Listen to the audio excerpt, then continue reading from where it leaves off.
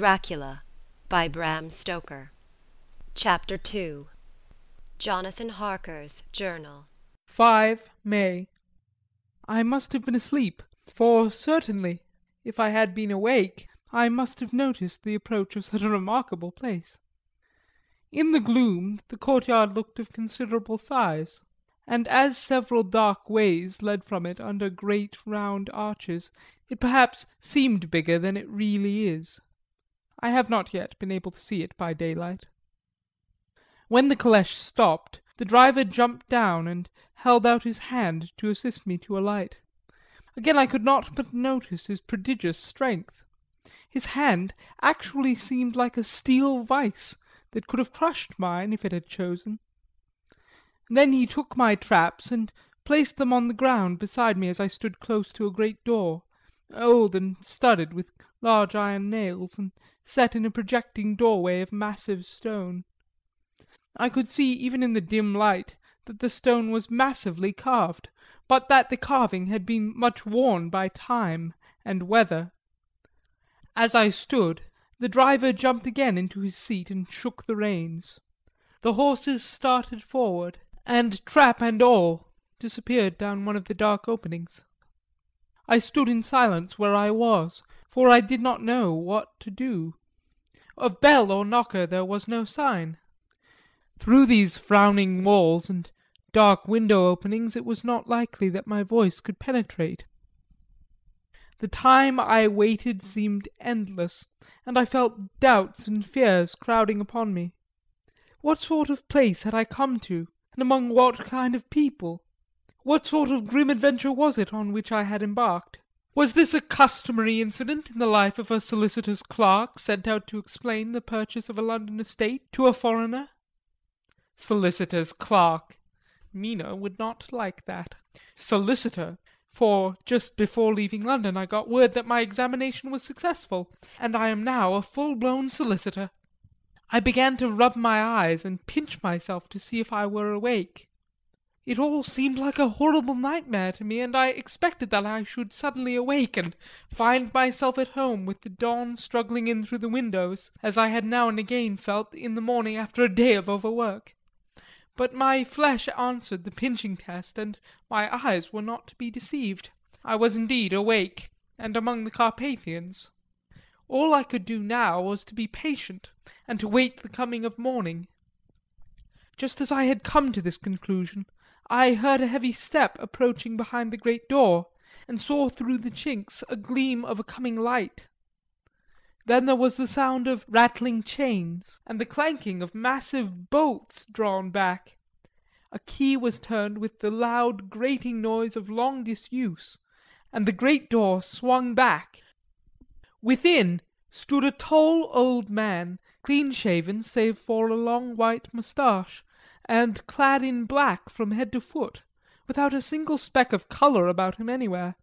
He held in his hand an antique silver lamp, in which the flame burned without a chimney or globe of any kind, throwing long quivering shadows as it flickered in the draught of the open door.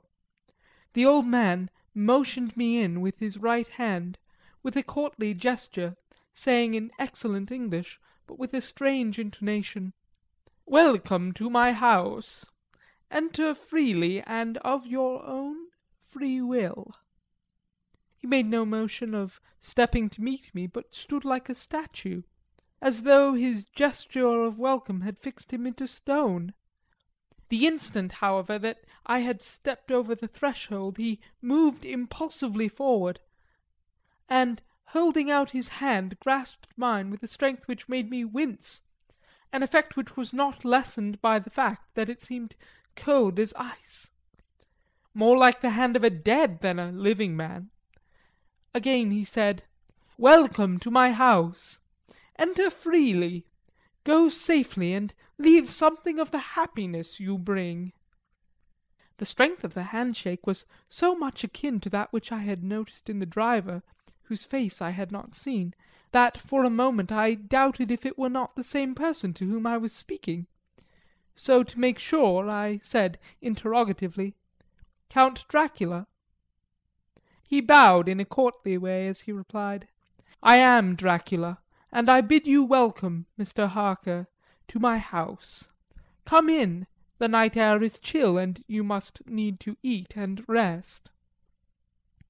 As he was speaking, he put the lamp on a bracket on the wall, and stepping out, took my luggage. He had carried it in before I could forestall him. I protested, but he insisted. Nay, sir, you are my guest. It is late, and my people are not available. Let me see to your comfort myself. He insisted on carrying my traps along the passage, and then up a great winding stair, and along another great passage, on whose stone floor our steps rang heavily. At the end of this he threw open a heavy door, and I rejoiced to see within a well lit room, in which a table was spread for supper, and on whose mighty hearth a great fire of logs, freshly replenished, flamed and flared. The Count halted, putting down my bags, closed the door, and crossing the room opened another door, which led into a small octagonal room lit by a single lamp and seemingly without a window of any sort. Passing through this he opened another door and motioned me to enter. It was a welcome sight, for here was a great bedroom well lighted and warmed with another log fire, also added to but lately, for the top logs were fresh, which sent a hollow roar up the wide chimney. The Count himself left my luggage inside and withdrew, saying before he closed the door you will need after your journey to refresh yourself by making your toilet. I trust you will find all you wish. When you are ready, come into the other room where you will find your supper prepared. The light and warmth and the Count's courteous welcome seemed to have dissipated all my doubts and fears. Having then reached my normal state, I discovered that I was half famished with hunger. So making a hasty toilet, I went into the other room. I found supper already laid out. My host, who stood on one side of the great fireplace, leaning against the stonework, made a graceful wave of his hand to the table and said I pray you, be seated and sup how you please. You will, I trust, excuse me that I do not join you, but I have dined already, and I do not sup. I handed to him the sealed letter which Mr. Hawkins had entrusted to me. He opened it and read it gravely. Then, with a charming smile, he handed it to me to read. One passage of it, at least, gave me a thrill of pleasure. I must regret that an attack of gout, from which malady I am a constant sufferer, forbids absolutely any travelling on my part for some time to come, but I am happy to say I can send a sufficient substitute, one in whom I have every possible confidence. He is a young man, full of energy and talent in his own way, and of a very faithful disposition. He is discreet and silent, and has grown into manhood in my service. He shall be ready to attend on you when you will during his stay, and shall take your instructions in all matters. The Count himself came forward and took off the cover of a dish, and I fell to at once on an excellent roast chicken. This, with some cheese and a salad and a bottle of old Tokay, of which I had two glasses, was my supper. During the time I was eating it the Count asked me many questions as to my journey, and I told him by degrees all I had experienced. By this time I had finished my supper, and by my host's desire had drawn up a chair by the fire and begun to smoke a cigar, which he offered me, at the same time excusing himself that he did not smoke. I had now an opportunity of observing him, and found him of a very marked physiognomy. His face was a strong, a very strong, aquiline, with high bridge of the thin nose and peculiarly arched nostrils, with lofty domed forehead and hair growing scantily round the temples but profusely elsewhere. His eyebrows were very massive, almost meeting over the nose, and with bushy hair that seemed to curl in its own profusion. The mouth, so far as I could see it under the heavy moustache, was fixed and rather cruel looking, with peculiarly sharp white teeth. These protruded over the lips, whose remarkable ruddiness showed astonishing vitality in a man of his years. For the rest, his ears were pale and the tops extremely pointed, the chin was broad and strong and the cheeks firm though thin; the general effect was one of extraordinary pallor. Hitherto I had noticed the backs of his hands as they lay on his knees in the firelight, and they had seemed rather white and fine, but seeing them now close to me I could not but notice that they were rather coarse, broad, with squat fingers. Strange to say, there were hairs in the centre of the palm. The nails were long and fine, and cut to a sharp point. As the Count leaned over me and his hands touched me I could not repress a shudder. It may have been that his breath was rank, but a horrible feeling of nausea came over me, which do what I would, I could not conceal. The Count, evidently noticing it, drew back, and with a grim sort of smile, which showed more than he had yet done his protuberant teeth, sat himself down again on his own side of the fireplace. We were both silent for a while, and as I looked towards the window I saw the first dim streak of the coming dawn. There seemed a strange stillness over everything. But as I listened I heard as if from down below in the valley the howling of many wolves. The Count's eyes gleamed, and he said "Listen to them, the children of the night. What music they make!" Seeing, I suppose, some expression in my face strange to him, he added, "Ah, sir! You dwellers in the city cannot enter into the mind of the hunter." Then he rose and said "But you must be tired. Your bedroom is all ready, and to morrow you shall sleep as late as you will. I have to be away till the afternoon, so sleep well and dream well." With a courteous bow he opened for me himself the door to the octagonal room, and I entered my bedroom. I am all in a sea of wonders. I doubt, I fear, I think strange things, which I dare not confess, to my own soul. God keep me, if only for the sake of those dear to me. 7 May. It is again early morning, but I have rested and enjoyed the last twenty four hours. I slept till late in the day and awoke of my own accord. When I had dressed myself I went into the room where we had supped, and found a cold breakfast laid out, with coffee kept hot by the pot being placed on the hearth. There was a card on the table, on which was written "I have to be absent for a while. Do not wait for me. D." I set to and enjoyed a hearty meal. When I had done I looked for a bell so that I might let the servants know I had finished, but I could not find one. There are certainly odd deficiencies in the house, considering the extraordinary evidences of wealth which are round me. The table service is of gold, and so beautifully wrought that it must be of immense value. The curtains and upholstery of the chairs and sofas, and the hangings of my bed, are of the costliest and most beautiful fabrics, and must have been of fabulous value when they were made, for they are centuries old, though in excellent order. I saw something like them in Hampton Court, but they were worn and frayed and moth eaten. But still in none of the rooms is there a mirror.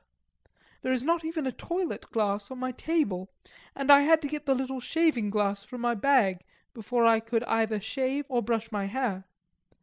I have not yet seen a servant anywhere, or heard a sound near the castle, except the howling of wolves. Some time after I had finished my meal I do not know whether to call it breakfast or dinner, for it was between five and six o'clock when I had it. I looked for something to read, for I did not like to go about the castle till I had asked the Count's permission. There was absolutely nothing in the room book, newspaper, or even writing materials, so I opened another door in the room and found a sort of library. The door opposite mine I tried, but found locked. In the library I found to my great delight a vast number of English books, whole shelves full of them, and bound volumes of magazines and newspapers. A table in the centre was littered with English magazines and newspapers, though none of them were of very recent date. The books were of the most varied kind history, geography, politics, political economy, botany, geology, law, all relating to England and English life and customs and manners. There were even such books of reference as the London Directory, the Red and Blue books, Whitaker's Almanack, the Army and Navy Lists, and it somehow gladdened my heart to see it the Law List. Whilst I was looking at the books the door opened and the Count entered. He saluted me in a hearty way and hoped that I had had a good night's rest. Then he went on. I am glad you found your way in here, for I am sure there is much that will interest you. These companions and he laid his hand on some of the books have been good friends to me, and for some years past, ever since I had the idea of going to London, have given me many, many hours of pleasure. Through them I have come to know your great England, and to know her is to love her. I long to go through the crowded streets of your mighty London, to be in the midst of the whirl and rush of humanity, to share its life, its change, its death, and all that makes it what it is. But alas! as yet I only know your tongue through books. To you, my friend, I look that I know it to speak. But, Count, I said, you know and speak English thoroughly. He bowed gravely. I thank you, my friend, for your all too flattering estimate, but yet I fear that I am but a little way on the road I would travel. True, I know the grammar and the words, but yet I know not how to speak them. Indeed, I said, you speak excellently. Not so, he answered. Well I know that, did I move and speak in your London, none there are who would not know me for a stranger. That is not enough for me. Here I am noble, I am a boyar. The common people know me, and I am master. But a stranger in a strange land, he is no one. Men know him not, and to know not is to care not for. I am content if I am like the rest so that no man stops if he sees me, or pauses in speaking if he hears my words. Aha! a stranger! I have been so long alone that I would be master still, or at least that none other should be master of me. You come to me not alone as an agent of my friend Peter Hawkins of Exeter to tell me all about my new estate in London. You shall, I trust, rest with me here awhile, so that by our talking I may learn the English intonation. And I would that you would tell me when I make error even in the smallest in my speaking. I am sorry that I had to be away so long to-day, but you will, I know, forgive one who has many important affairs in hand. Of course I said all I could about being willing, and asked if I might come into that room when I chose. He answered Yes, certainly, and added, You may go anywhere you wish in the castle, except where the doors are locked, where, of course, you will not wish to go. There is reason that all things are as they are, and did you see with my eyes and know with my knowledge, you would perhaps better understand.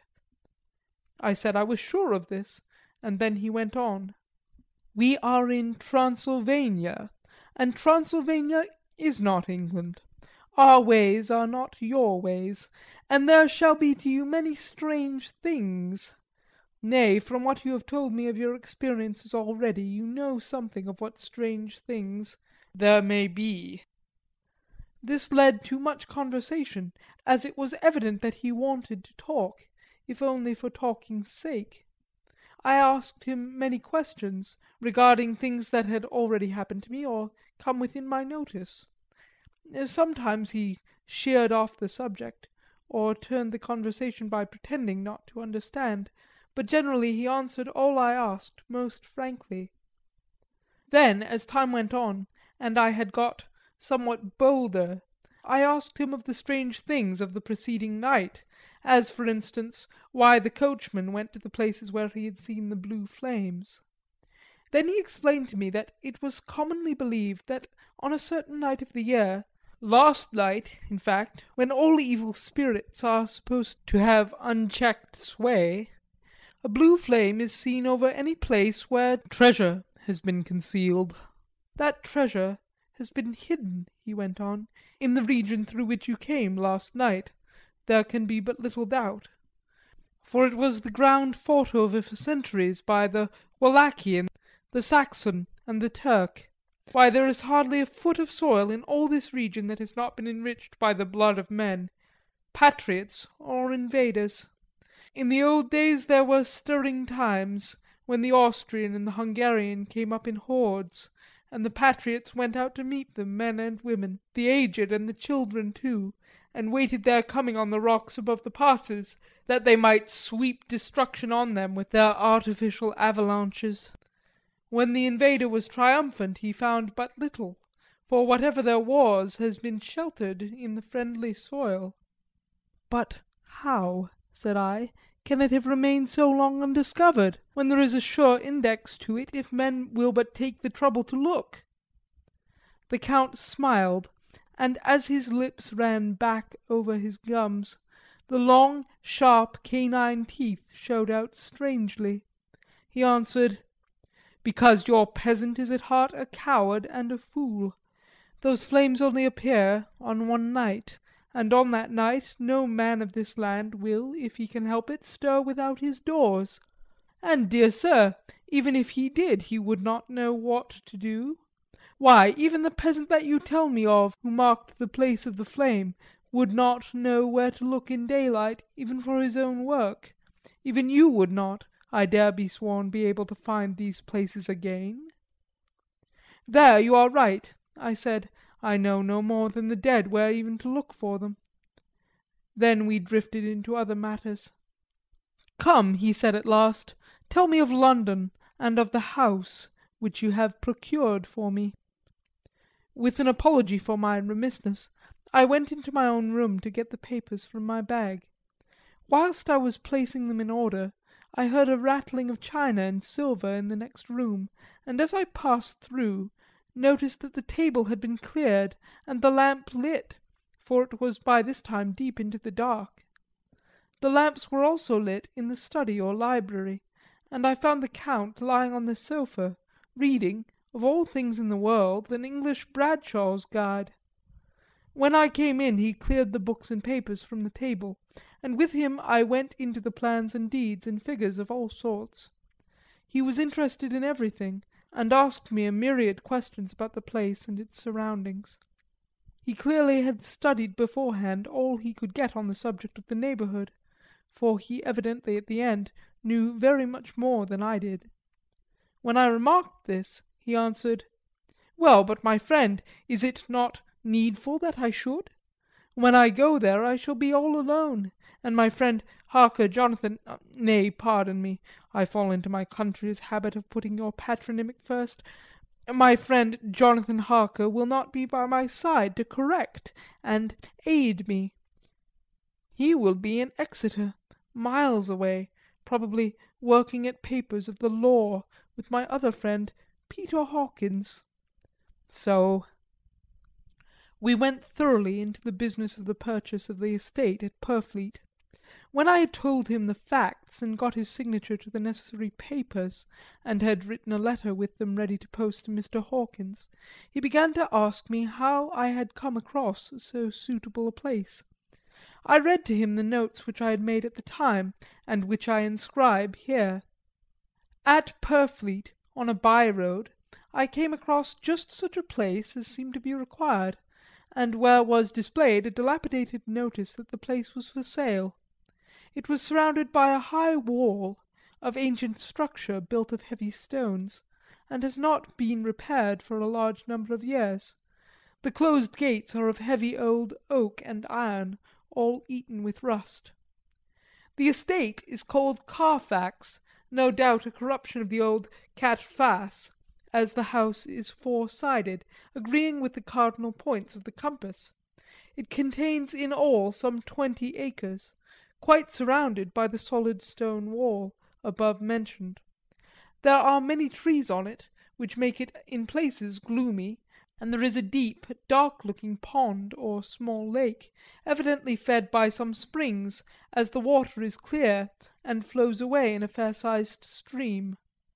The house is very large and of all periods back, I should say, to mediaeval times, for one part is of stone immensely thick, with only a few windows high up, heavily barred with iron. It looks like part of a keep, and is close to an old chapel or church I could not enter it, for I had not the key of the door leading to it from the house, but I have taken with my kodak views of it from various points. The house had been added to, but in a very straggling way, and I can only guess at the amount of ground it covers, which must be very great. There are but few houses at hand, one being a very large house, only recently added to, and formed into a private lunatic asylum. It is not, however, visible from the grounds. When I had finished he said: "I am glad that it is old and big. I myself am of an old family, and to live in a new house would kill me. A house cannot be made habitable in a day, and after all, how few days go to make up a century. I rejoice also that there is a chapel of old times we Transylvanian nobles love not to think that our bones may lie amongst the common dead. I seek not gaiety nor mirth, nor the bright voluptuousness of much sunshine and sparkling waters, which please the young and gay. I am no longer young, and my heart, through weary years of mourning over the dead, is not attuned to mirth. Moreover, the walls of my castle are broken. The shadows are many and the wind breathes cold through the broken battlements and casements. I love the shade and the shadow, and would be alone with my thoughts when I may. Somehow his words and his look did not seem to accord, or else it was that his cast of face made his smile look malignant and saturnine. Presently, with an excuse, he left me, asking me to pull my papers together. He was some little time away, and I began to look at some of the books around me. One was an atlas, which I found opened naturally to England, as if that map had been much used. On looking at it I found in certain places little rings marked, and on examining these I noticed that one was near London on the east side, manifestly where his new estate was situated. The other two were Exeter and Whitby on the Yorkshire coast. It was the better part of an hour when the Count returned. "Aha!" he said. "Still at your books? Good. But you must not work always. Come, I am informed that your supper is ready." He took my arm and we went into the next room, where I found an excellent supper ready on the table. The Count again excused himself, as he had dined on his being away from home; but he sat as on the previous night and chatted whilst I ate. After supper I smoked as on the last evening, and the Count stayed with me, chatting and asking questions on every conceivable subject, hour after hour. I felt that it was getting very late indeed, but I did not say anything, for I felt under obligation to meet my host's wishes in every way.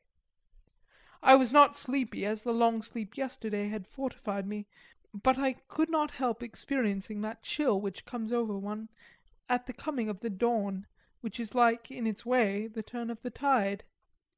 They say that people who are near death die generally at the changed dawn or at the turn of the tide. Anyone who has when tired, and tied, as it were, to his post, experienced this change in the atmosphere can well believe it. All at once we heard the crow of the cock coming up with preternatural shrillness through the clear morning air. Count Dracula, jumping to his feet, said: "Why, there is morning again! How remiss I am to let you stay up so long! You must make your conversation regarding my dear new country of England less interesting, so that I may not forget how time flies by us." And with a courtly bow he quickly left me. I went into my room and drew the curtains, but there was little to notice.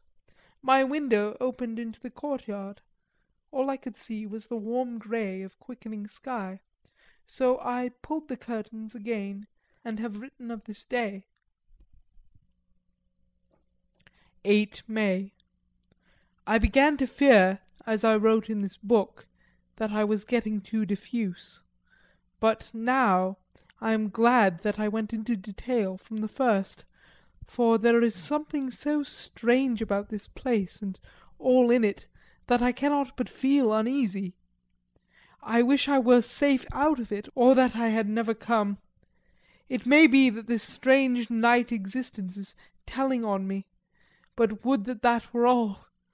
If there were anyone to talk to I could bear it, but there is no one. I have only the Count to speak with, and he I fear I am myself the only living soul within the place. Let me be prosaic so far as facts can be it will help me to bear up, and imagination must not run riot with me. If it does I am lost. Let me say at once how I stand, or seem to. I only slept a few hours when I went to bed, and feeling that I could not sleep any more, got up. I had hung my shaving glass by the window, and was just beginning to shave. Suddenly I felt a hand on my shoulder, and heard the Count's voice saying to me, "Good morning." I started for it amazed me that I had not seen him, since the reflection of the glass covered the whole room behind me. In starting I had cut myself slightly, but did not notice it at the moment. Having answered the Count's salutation I turned to the glass again to see how I had been mistaken. This time there could be no error, for the man was close to me, and I could see him over my shoulder but there was no reflection of him in the mirror. The whole room behind me was displayed, but there was no sign of a man in it, except myself. This was startling, and coming on top of so many strange things, was beginning to increase that vague feeling of uneasiness which I always have when the Count is near. But at the instant I saw that the cut had bled a little and the blood was trickling over my chin. I laid down the razor, turning as I did so half round to look for some sticking plaster. When the Count saw my face his eyes blazed with a sort of demoniac fury, and he suddenly made a grab at my throat. I drew away, and his hand touched the string of beads which held the crucifix. It made an instant change in him, for the fury passed so quickly that I could hardly believe it was ever there. Take care, he said, take care how you cut yourself. It is more dangerous than you think in this country. Then, seizing the shaving glass, he went on, And this is the wretched thing that has done the mischief. It is a foul bauble of man's vanity. Away with it! And opening the window with one wrench of his terrible hand, he flung out the glass, which was shattered into a thousand pieces on the stones of the courtyard far below. Then he withdrew without a word. It is very annoying, for I do not see how I am to shave unless in my watch case or the bottom of the shaving pot, which is fortunately of metal. When I went into the dining room, breakfast was prepared, but I could not find the Count anywhere, so I breakfasted alone. It is strange that as yet I have not seen the Count eat or drink. He must be a very peculiar man. After breakfast I did a little exploring in the castle. I went out on the stairs and found a room looking towards the south. The view was magnificent, and from where I stood there was every opportunity of seeing it. The castle is on the very edge of a terrific precipice. A stone falling from the window would fall a thousand feet without touching anything. As far as the eye can reach is a sea of green tree tops, with occasionally a deep rift where there is a chasm. Here and there are silver threads where the rivers wind in deep gorges through the forests. But I am not in heart to describe beauty, for when I had seen the view I explored further. Doors, doors, doors everywhere, and all locked and bolted. In no place save from the windows in the castle walls is there an available exit. The castle is a veritable prison, and I am a prisoner. End of Chapter 2